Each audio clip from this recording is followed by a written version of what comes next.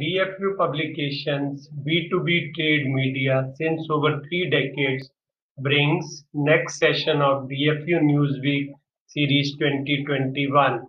The theme this time is March to be the watershed month for apparel recovery, Gautam Singhania Raymond.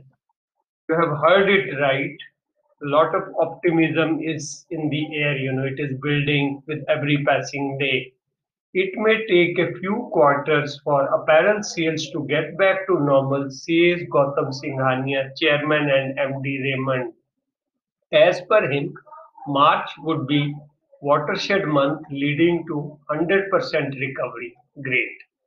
Sales are improving as more people get vaccinated and are stepping out. Weekend sales are back to pre-COVID levels. Music to the ears. Rebound in tier 2 and tier 3 cities is higher as these were less impacted by the pandemic. It is present in towns that has over 50,000 people and Raymond has a distribution network that goes to over 500 towns pan India.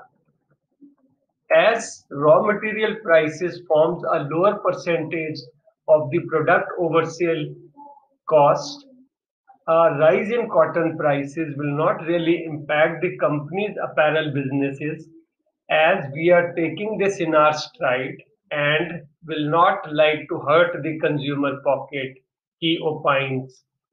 Though recovery in the apparel business is quite slow and it may take a couple of more quarters to get back to exactly the same pre-COVID level, he avers.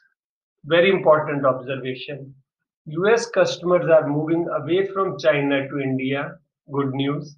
And started to look at India as a credible alternative. As pandemic fear is unwinding their businesses in the US and businesses are fast limping back to pre-COVID levels, he affirms. Regarding the overall trade recovery and Raymond in particular, he remains cautiously optimistic and states upfront Raymond has recovered over 75% of physical apparel sales and does not plan to continue with online operations. Bottom line, buyers moving away from China, heartening. Thank you so much for showing love to us. God bless you all.